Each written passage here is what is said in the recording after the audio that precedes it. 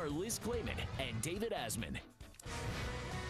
And we start out with breaking news a shocking report that union workers intentionally hampered a cleanup effort, putting lives in danger in New York City. We're going to have the councilman who broke the story live here in just a few moments. According to today's New York Post, sanitation bosses in the city apparently ordered drivers to drag out this cleanup process to protest recent cutbacks and layoffs. The move, if true, left major arteries and side streets unplowed and even more startling, would have affected efforts by ambulances to reach 911 calls. Now, some of the tactics mentioned in the Post story included leaving plows above the street so less snow would be removed. Can you imagine that? And our next guest says every city and town in America better prepare for more nonsense like this. Because public unions are in their death throes. Joining us now is Tom Belesis, CEO of John Thomas Financial. Well, this is this really could have been a deadly action on the part yes. of the unions, if true, because for one instance, a baby died because the ambulance that was trying to revive it was stuck because of the unplowed streets. So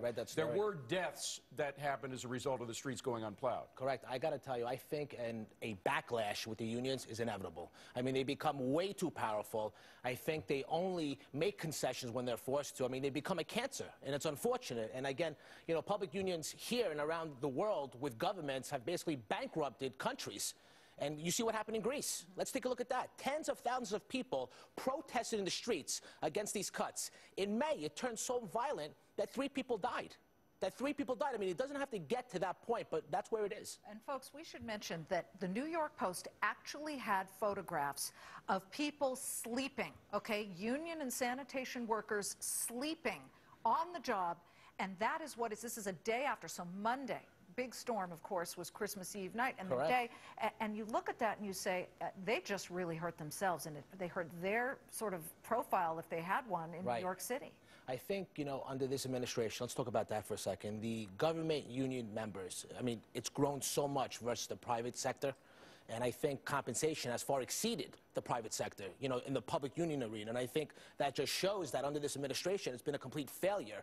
And, you know, at the end of the day, if there's not a stop put to this soon, surely there's going to be even more problems. Riots in the streets, you never know. Well, the main problem with public sector unions as opposed to private sector unions is, is there is a collusion between the government workers and the people who pay their salaries. I mean, obviously, it's the taxpayers who ultimately do. Absolutely. But the people who yes. do the hiring and the people who raise the salaries are the folks in public office. They're brethren. Correct. There is a tension in the union private labor force that you don't have in the public sector union. I, I, agree. You know, I think we should take it back to the Reagan days, and I think you guys remember this. Back in 1981, the air, right. co correct. What did Ronald Reagan do when he got off? He fired everyone.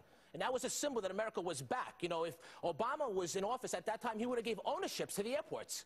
This is our money, by the way, taxpayer money that you actually pay. Correct. To have this job done. And by the way, folks, you know, you count how many snowstorms.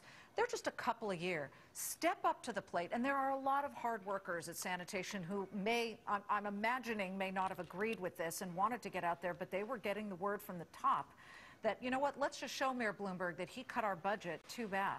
That's, that's right. And you know what? They exploit that strength by strong arming, as we would say. Say, you know what, if you don't concede or if we don't feel that a company is going to be forced into bankruptcy, then you know what, we're not going to accept the terms. And no, that's not the right way to By build way, America. Even though 500 workers were laid off in the sanitation department, uh, the actual amount of money that New York is spending on sanitation increased by $200 million over the past three years. Thanks to Tom Belesis. Appreciate you being here. While